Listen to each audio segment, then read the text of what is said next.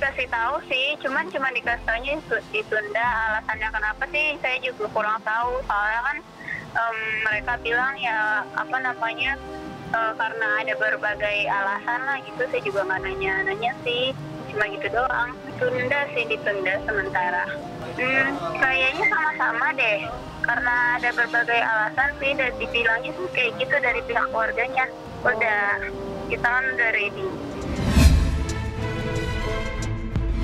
dari kita dari sisi kita juga paham paham lah karena kan eh, terlalu banyak eh, dari kemarin kan terlalu banyak acara dari Vicky sama Kalina mungkin butuh persiapan yang lebih matang lagi atau ada surat-surat. Karena dari kemarin emang eh, yang aku tahu sering ketemu sama Kalina juga selalu bahas tentang surat-surat. Mungkin karena surat-surat belum eh, Belum agak susah selesai. kali ya belum selesai mungkin perihal itu juga menunda pernikahannya belum jelas kenapa nanti besok aku mau nanya sih sebenarnya tapi kayaknya mungkin ada kendala dari itu juga ya kan Mm-mm, ya pokoknya kita doain aja soalnya bulan Maret katanya kan tertunda jadi bulan Maret Mm-mm.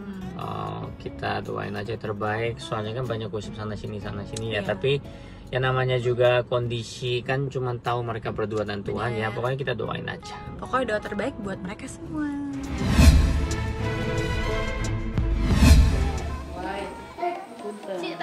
Mi udah Mi. Pas nggak? Beres beres.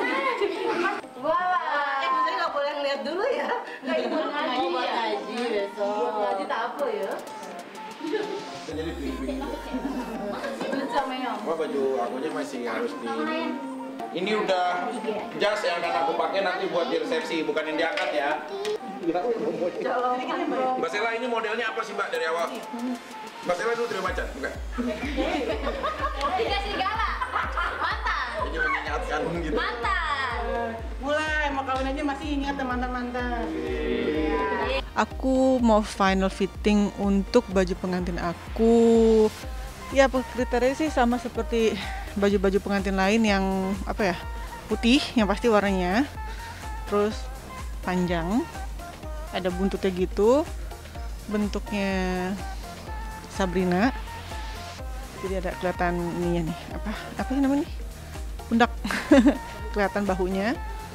Um, dilihat dikit aja ya. Tapi udah gitu aja nggak boleh nggak boleh banyak banyak. Soalnya aku mau bikin surprise. Kalau misalkan aku kasih tahu sekarang nggak surprise lagi pas nanti hari pengantinnya. Saya sih selama umur seumur hidup saya bulian terbanyak pada saat saya bersama Vicky Prasetyo. Balik lagi justru saya melihat bercermin dari beliau yang dia mah nggak peduli sama omongan orang gitu. Orang mau ngatain mau jelek mau bagus ya udah gitu. Kalian bilang kami bukan seperti yang kalian katakan di luar sana. Kita buktikan dengan kita berduanya ke depannya seperti apa dan karyanya kita seperti apa ke depannya. Toh juga kita nggak pernah tahu. Jangankan untuk satu dua tahun ke depan lima menit ke depan juga kita nggak pernah tahu. Berapa detik ke depan juga kita nggak tahu.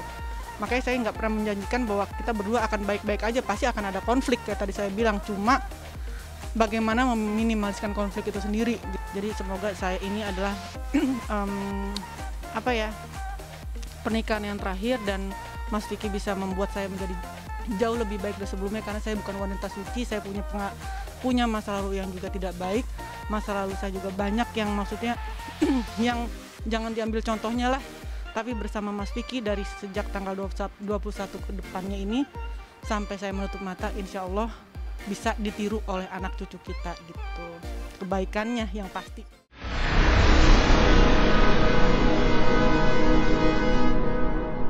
Jadi jangan lupa untuk subscribe Cumi Cumi.